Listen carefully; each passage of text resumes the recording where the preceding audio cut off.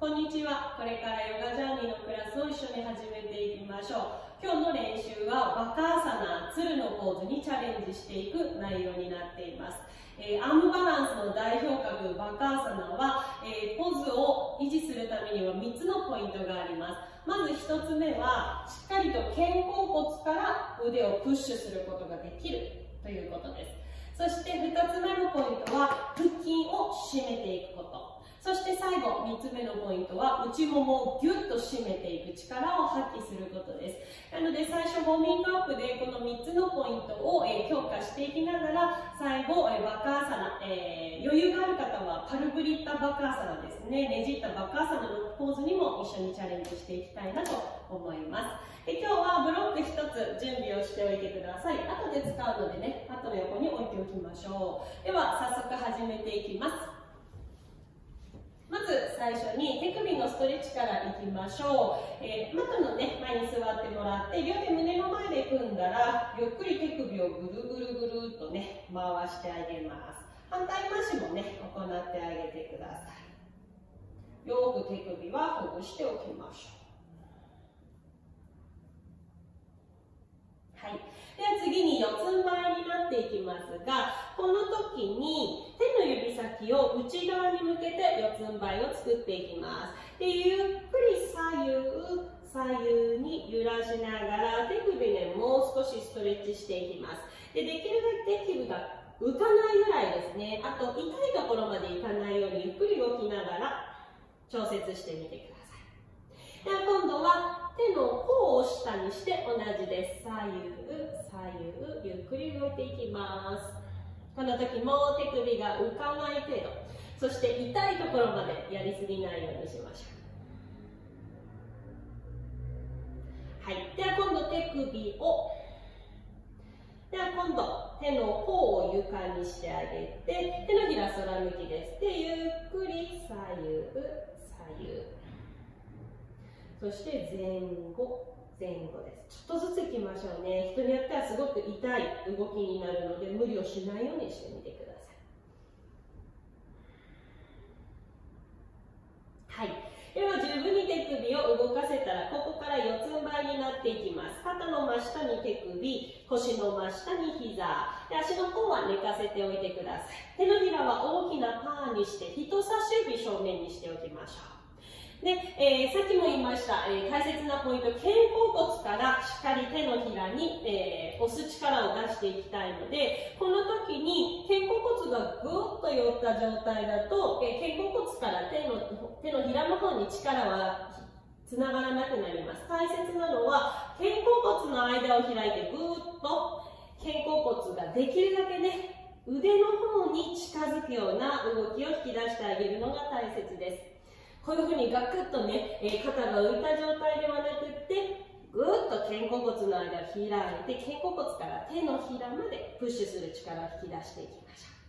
ではこの形切って維持しながらキャットカウでねもう少し力を引き出していきます。吸ってお腹ぐーっと下げましょう。そして肩甲骨は開いたままですね。正正面首長くしてはい。で骨盤くるーっと回し込みます。で肩甲骨の間開いて反らすこの時に腹筋もぐーっと締めていきましょう。もう一度吸ってお腹を下げていく。肩甲骨は開いたまま首長く目線正面です。はい。で骨盤丸めて腹筋ぐーっと入れながら肩甲骨の間開きます。もう一度吸ってお腹を下げて目線正面肩甲骨開いて首長くす吐いて背中丸めて腹筋をぐーっと入れながら肩甲骨をどんどん腕の方に向けていきますではゆっくり吸いながらニュートラルポジションに戻りましょうではここからバタコタサラで内ももを締めていくエクササイズを行っていきます。足の裏を合わせてあげて、かかとはね、自分のお,、えー、お尻の方に少し近づけましょう。お尻の肉広げてあげて、座骨はしっかりと大腸を捉えていきます。で、この時に、内ももはぎゅーっと締める方に力を働かせますが、自分のこの腕の部分を使ってそれを押し返してください。膝は閉じようとするけれども、腕はそれを阻止しようとする。この力を少し拮抗させて呼吸します。鼻から、鼻から吐く。腕にね足が負けちゃうようだったらちょっと太ももの内ももを締める力が弱いですね。腕に負けないぐらいぐーっと押し返してみましょう。息は止めないで。OK です。ではゆっくりと足を閉じたらここからブロックを使ってねもう少し内ももを締めていく練習しましょう。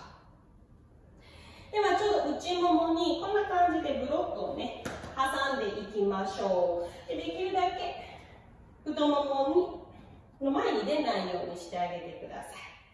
そしてここからマットに四つん這いになっていきます。ここの四つん這いも手のひら大きなパーにして人差し指正面です。でつま先立ちにしていきましょう。次の吐く呼吸でダウンドッグに入っていきます。まずしっかりね背骨伸ばしていきましょう。ここも肩甲骨はぐーっと開いて脇の下マット向きにして肩甲骨から腕を押すようにします。肩甲骨寄せると首も詰まりますしね腕に力伝わらなくなるので肩甲骨は開いて脇の下です。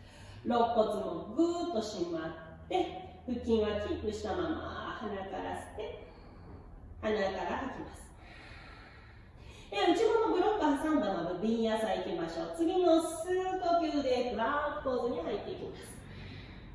吐いて膝奥肘90度チャトランガダンダーサラです。肩はすくめない。で足の交代してアップド膝をきます。腕より胸を前に押し出すようにしましょう。目線は正面首長くで吐い。て段読に戻りましょう。あと2回いきます吸ってプランまっすぐながら吐い。て膝奥肘90度で前に乗り出すようにしてストップ。足の交換して吸ってアップド首長くしてかかとちょっと向かせます。吐い。てダウンド。しっかり内もも締めたまま吸ってプランク。吐い。て膝奥肘90度でストップ。吸って足の交換してアップド膝をきます。肩右離して伸び伸びと。吐い。てダウンド。に入っていきましょう。ここで呼吸3回鼻から吸って。鼻から吐く。肩甲骨は寄せます手の指先とお尻が離れるようにそして内ももはしっかりと締めていきます。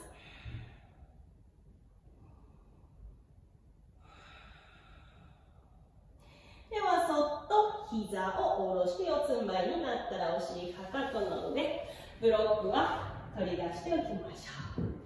で続いてヨギーズスクワットいきます。マラサナですね。ちょうどかかとは腰幅ですでつま先斜め45度外側向けていきましょう。かかとしっかりマットに置いたら両手胸の前で足を作ります肘手首が一直線になるようにこういう風な状態でこうではなくて親指胸の中心にセットして肘手首が一直線です。膝は肘を押す。るけど肘は膝を開こうとする。目を閉じてゆっくり呼吸しましょう。鼻から吸って。鼻から吐くしっかりね背骨は腰頭頂まで一直線作るようにしましょう。そして内ももを締めながら肘はそれを開こうとする。ちょうど手のひらの中心でエネルギーを拮抗させていきますでは入れていきましょう。ゆっくりと右手床を軽く触れたら左手目線空に広げてツイスト入れていきます呼吸をどんどん胸に広げていきましょう。では次の半呼吸でもう一度合掌を作っていく反対側反対側です。左手床軽く触れたら右手目線空に吸って上に広がって吐きながらもっと足は強く踏ん張っていきます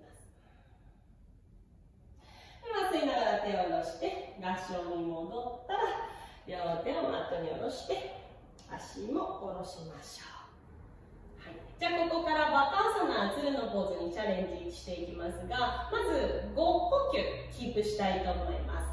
でそれでねいけそうな方はねじったえー、バカーサナを3呼吸ずつ左右でチャレンジしていきましょう、えー、お話のポイントを思い出してくださいね、えー、しっかり肩甲骨は開いて手でマットを押す。そして腹筋締めて内ももは締めるです。ではさっきのマーラーサナと同じような体勢に入っていきますがここはつま先立ちにしておきます。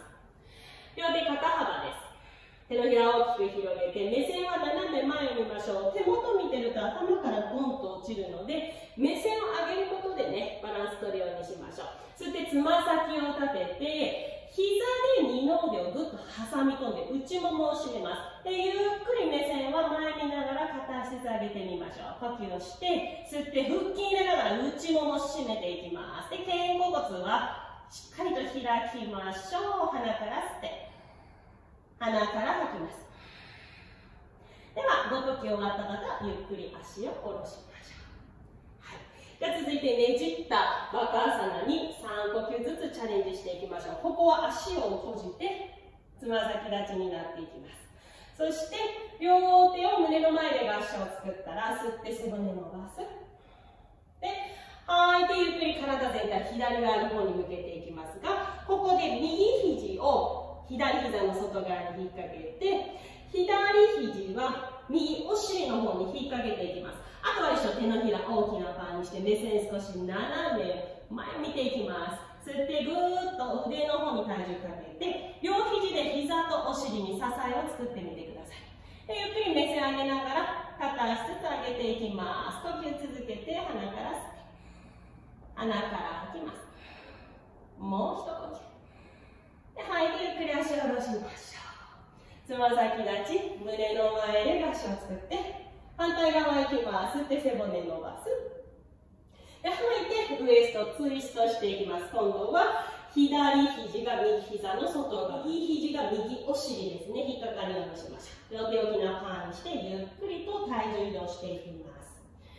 両肘の上に右側のお尻とそして膝の外側に引っかかるようにしましょう。ゆっくり目線を上げるようにしてゆっくり足を持ち上げていきます。肩甲骨開く。お腹締めて呼吸します。鼻から吸って鼻から吐く。